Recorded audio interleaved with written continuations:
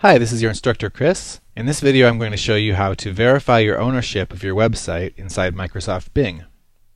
After you've signed up for Bing and registered your site with Bing, you need to verify the site. Go to the site dashboard in Bing and click the Verify Now link. You'll see the screen with the three options for verifying your site. The first method is just to download an XML file and then upload it to the root directory of your website. So I'll click on this link to download the Bing site auth.xml file. And then go to an FTP client such as FileZilla and connect to your website.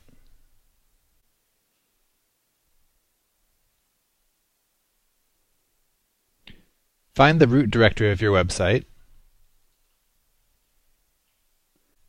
and then locate the XML file that you downloaded from Bing. It should be in a folder called Downloads. Right-click the file and select Upload, and the file will be transferred to the root directory of your website. Now return to Bing and click this link to confirm that the file exists on your website. If it doesn't appear immediately, there may be a problem with caching and you may need to wait a few minutes. If the XML file still can't be found after a few minutes, it may be an issue with how your site is configured. In this case, proceed to one of the other verification methods. The second verification method involves adding a meta tag to your website.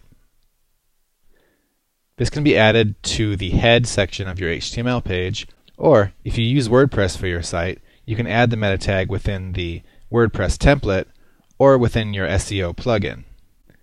To add the meta tag in your SEO plugin, copy this code and go to your website's dashboard. Log in and then go to your SEO plugin. And there should be a section called Webmaster Tools. Enter in the verification code into the Bing Webmaster Tools text field and click Save Changes. Return to Bing and click the Verify link. The third method for verifying your site with Bing is to add a DNS record. If you have a website control panel, you would log in there and use the DNS editor in order to add this DNS record. Once you implement one of these three methods, click the Verify link, and if the verification is successful, you'll be taken to the dashboard for your website.